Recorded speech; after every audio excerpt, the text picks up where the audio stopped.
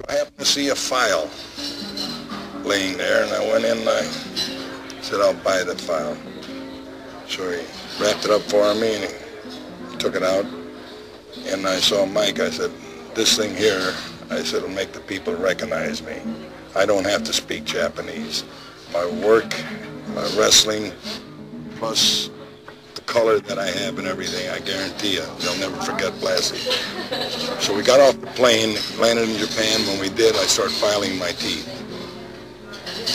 Well, they just went ape.